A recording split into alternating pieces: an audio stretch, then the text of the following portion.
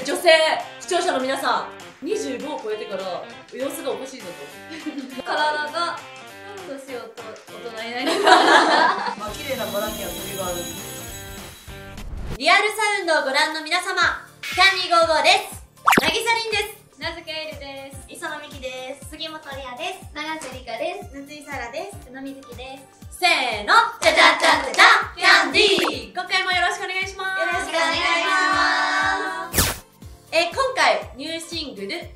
ス2010」にちなみましてこの10年でキャンディーゴーゴー大人になったなと感じることを一人ずつで紹介していきたいと思います。じゃあまず発表したい人こういう動画は一番手が。はいはいはいじゃあじゃあじゃあ私から。考えたんですけど大人成長したかなって思います。これはあのいじったとかそういうのでは。なく私昔からちょっと猿顔気質があるんですけどだからちょっと顔がもうちょっと濃くなったなっていう意味であのリスザルからチンパンジーみたいななんかあだ名もあいあいだからなんか猿感が増したぞみたいな意味 で大人になったんじゃないかなって思ってるんですけどどうですかね。まあ猿は抜け出さずにね チンパンジーは嫌だなもうちょっとその先に行ってほしい。人間になりましょうちょっと人間分かった。じゃあ次の目標それにします。人間になる。はい、なぎさりんです。えっと、10年で変わったことは、肉のつき方。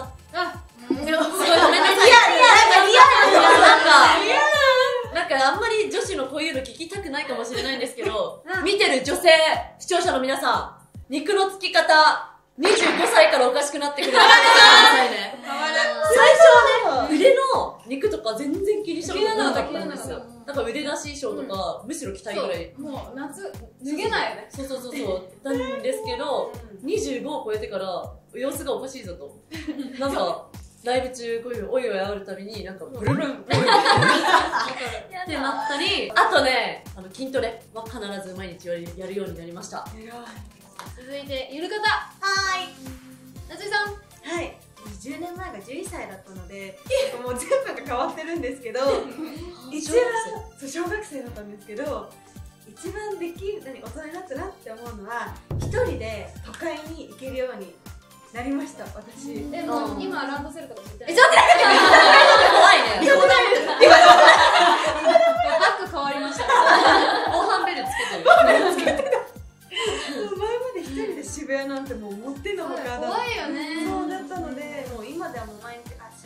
くよ今日もみたいな感じで行けるようになったのでありましたむしろ一番今都会に染まってるよね。えそうなんだ怖いですよ。あ。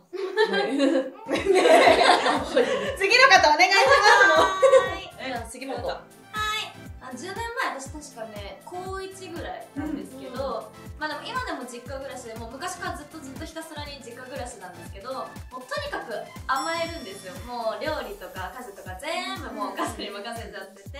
で昔はやっぱお菓子作りまくってたんですけどつい最近になってなんか料理作りたいなっていう気持ちになってそっからなんかすぐ作るようになってあなんか成長したなって個人的に主婦力が上がったみたいな。なんか実家なんだけど、うん。そうちょっとなんか作るようになってあなんか大人になった気がするって思いました自立し始そうめたやっと25歳になってやっと。はい。はい、まあ、磯野は10年前16歳なんでいやーもうその時期とかはめちゃめちゃバッチバチだったんですよ。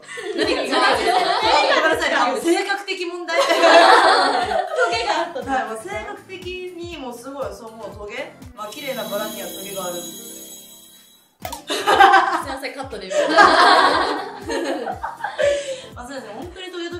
んですぐ喧嘩しちゃうみたいな感じのところがあったのでもうすごくやっぱりまあ人生の経験を積み人と関わるには トゲを出してはいけないということを学びすごく丸くなりましたいろんな意味で。いろんな意味で。はいあのさんいきます私は脳みそが成長しないまま年を取りました成長してない。ですしてない体が年をと大人ないないないなんか嫌だな。ちょっと、ちょっとエッチだな。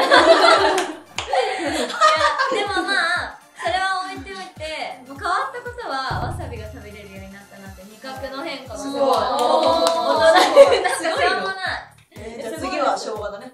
生姜だけは絶対に大丈夫紅生姜食べれるようになったじゃあ10年後の目標は紅生姜克服にしますじゃあ最後鳥鳥あマジで普通のこと大人になったなって実感するのが一人で病院に行けること病院に行けるようになりましたえでもわかるかもだってお母さんとずっと一緒に病院に行って診察室に入ってこの子は今日ちょっとお腹が痛いんですって言ってもらってたのが今は一人で勇気を出して診察室に一人で入ってちょっとお腹が痛いですって言えるようになりました。え、病院お母さんとさ、行ってたのって、小3ぐらいまでかもしれない。結構言ってた。うんチームは前え小学生。でも歯医者とか全然一人で予約えー、すごい。歯医者一人よりレベル高い。でもうちもう一個思い出しちゃった。カフェでガムシロください言えるようになりました では、改めて、そんな、えー2020年12月9日にリリースしました、シンス2010キャンディーゴゴの10年間の歴史が詰まった1枚となっております。ぜひ皆様ゲットしてください。それでは以上、キャンディーゴーゴーでした。せーの、じゃじゃじゃじゃじゃキャンディー